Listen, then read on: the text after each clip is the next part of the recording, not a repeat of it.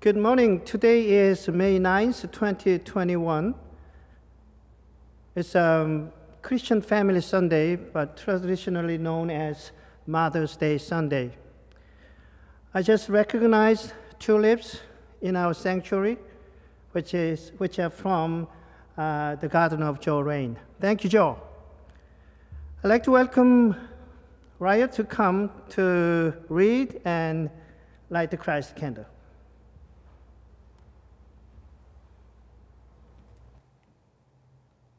On this Christian Family Sunday, we are called to celebrate relationships. Mothers, grandmothers, and all, all those of every gender who nurture us. Our God is a God of relationship who seeks us out and longs for us to connect with others and with all of creation.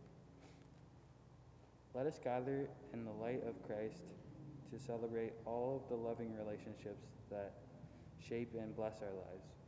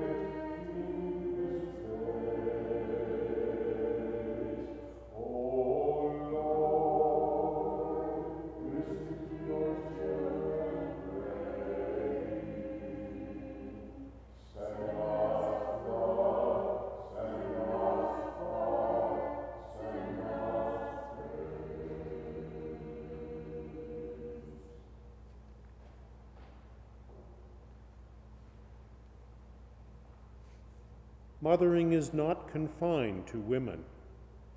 Many of us have been mothered by others who are not childbearing people.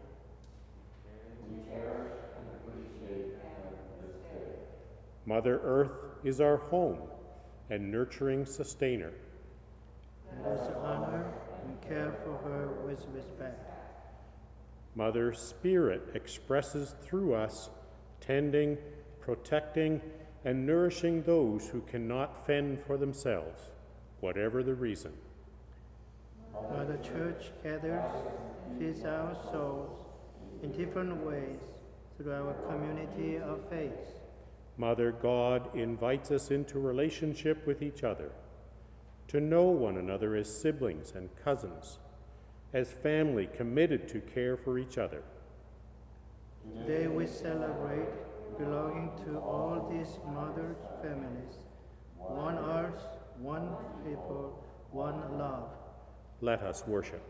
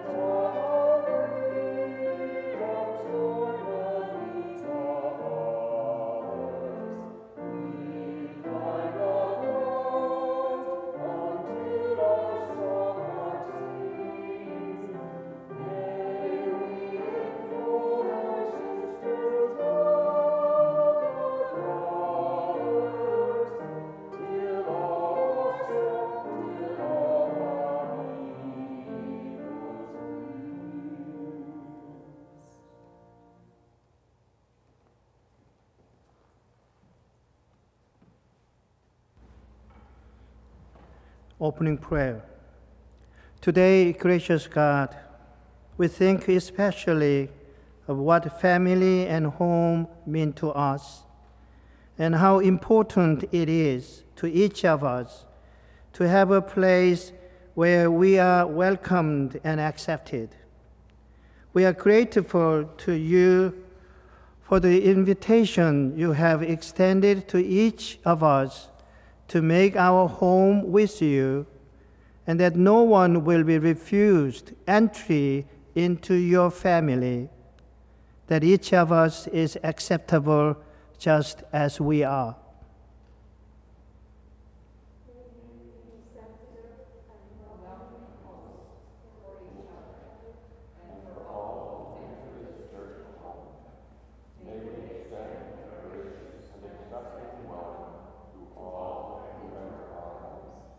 To you, gracious God, who has welcomed us unconditionally, we give our thanks today. Amen.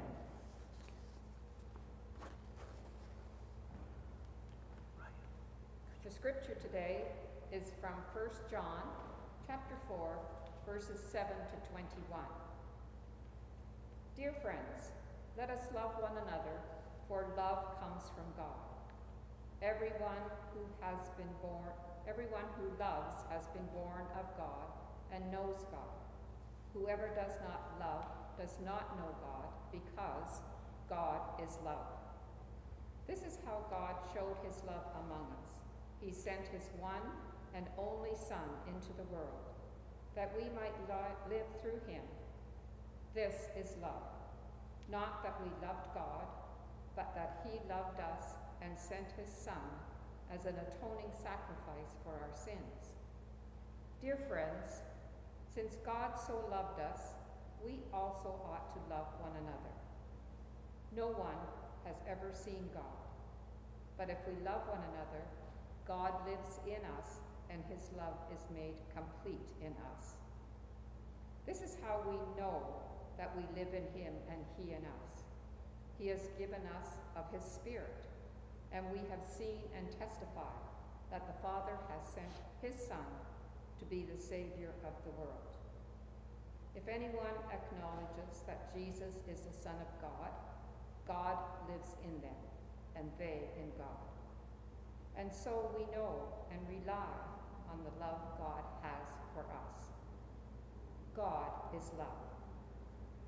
Whoever lives in love lives in God, and God in them. This is how love is made complete among us, so that we will have confidence on the day of judgment.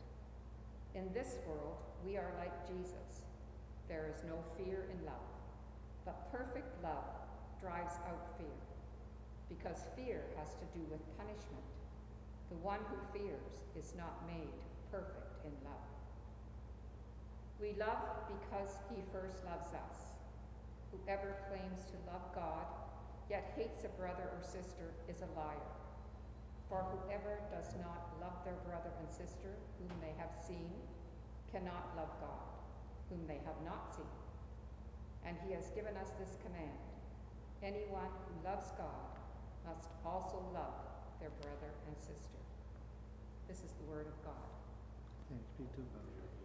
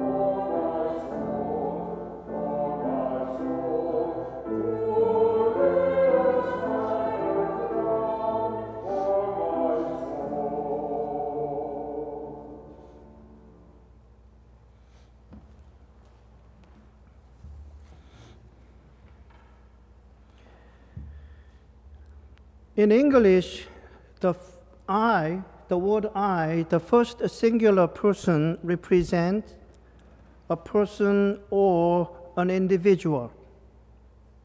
It is I that seem to always be the first thing to be considered in this world.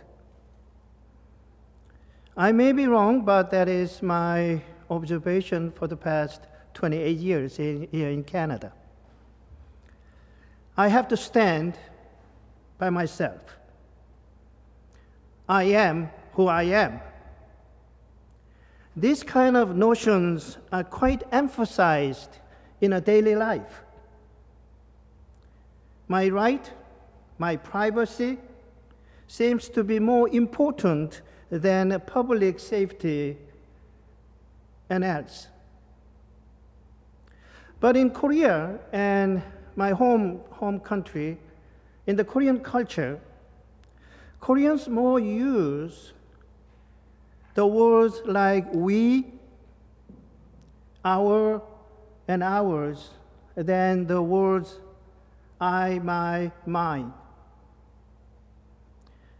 If I introduce my mother to you, for example, I would say, if I interpret it directly, I would say, this is our mother. It is logically and grammatically incorrect, but that is the way of life and speaking in Korea. And sometimes it, really it is really confusing if I introduce my wife, our, our wife. but it happens sometimes, but that's the way of speaking.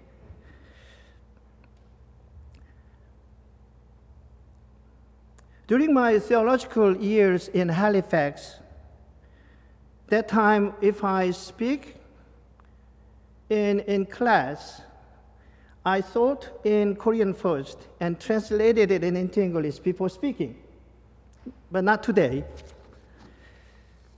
I said, Our father said to me when I was young, and then blah, blah, blah. The professor and colleagues were confused at my presentation, and one of them responded to me, Sangmin, when you said, Our Father, were you talking about your earthly father or our Father in heaven? My point is that Koreans and the Korean culture in general consider family and community as important as each individual. The shape of a person in Chinese is like this.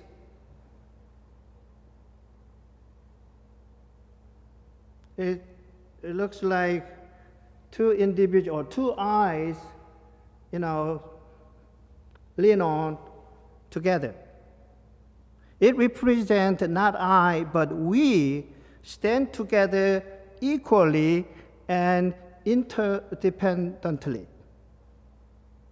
I'm not saying, I'm not claiming that one culture is better than the other.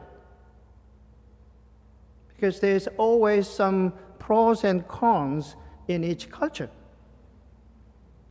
We gathered here today to observe as Christian Family Sunday which is traditionally known as Mother's Day Sunday. Our opening hymn, Voices United, number 270, Dear Mother God, reminds us of who we are and where we come from. Here, God is described as a loving and caring mother. And remember, we all are born from such image of God.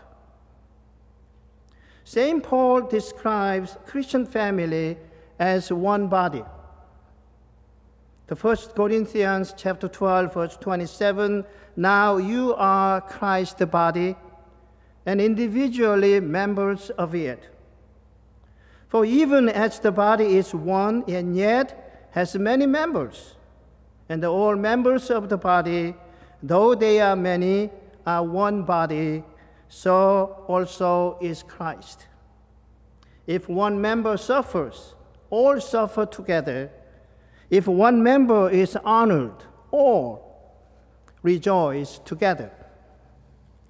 Children grow basic, based on the love and, and sacrifice of their parents. They also grow, get married, have children, and give their love and sacrifice for their children. And that is the cycle of life and the secret of love. I watched a food channel recently. In the program, a chef dared to say, Food is love. I agree with him. Do you? Food is love. I, I grew up with three other brothers. All were trained in Taekwondo, Korean martial art, and obtained black belts in their early ages. We argued, we wrestled with each other, and we played games and sports together, and quite often with fists and kicks.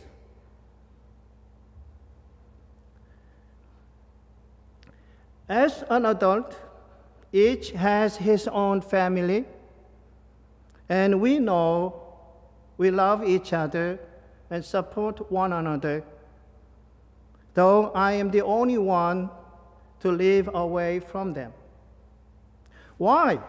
I wondered. For we shared meals prepared by our mother thousand, thousand times as a family. Yes, we ate the love of mother together while growing up. The mother is gone, but the memory of her love and the food she cooked for her children is now part of me and my brothers. How could we not keep loving from each other. Today's reading defines God as love. God is love. It is mentioned twice. Do you agree if I say mother is love? Yes? Right? Yep. Do you agree if I say God is food? No? You know the three, uh, three point thesis. If A is B and B is C, A is C. Right? If God is love and, and love is food, and then God is food. If you agree with me, please practice it. Whenever you have breakfast, lunch, dinner, alone sometimes, with your family members, friends, or neighbor, say grace like this God is good, God is love, and God is food. Thanks be to God. Food is the reality of love. Yes. One of the significant missions and ministry of Jesus is sharing food, sharing meal with his family members, friends, disciples, neighbors, 5,000 people, and sometimes 7,000 people. Sharing meal is one of important ministries here at St. John's United Church too. For the past 14 months, we have been missing full communion with all people of God. Fellowship with sweet goodies right after Sunday service.